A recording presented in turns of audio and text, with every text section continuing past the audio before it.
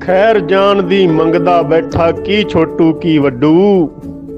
ਰਹਿ ਨਾ ਜਾਵਣ ਜਗ ਤੇ ਕਿਧਰੇ ਸੱਪ ਕਿਰਲੇ ਤੇ ਡੱਡੂ।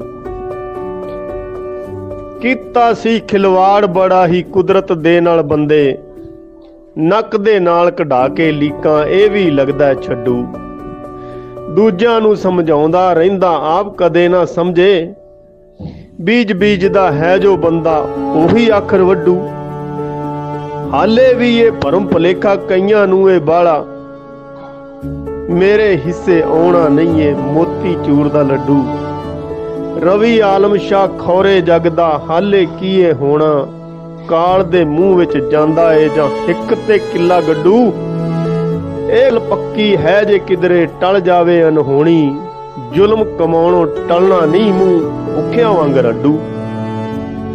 ਖੈਰ ਜਾਣ ਦੀ ਮੰਗਦਾ ਬੈਠਾ, ਕੀ ਛੋਟੂ ਕੀ ਵੱਡੂ, ਰਹਿ ਨਾ ਜਾਵਣ ਜੱਗ ਤੇ ਕਿਧਰੇ, ਸੱਪ ਕਿਰਲੇ ਤੇ ਡੱਡੂ।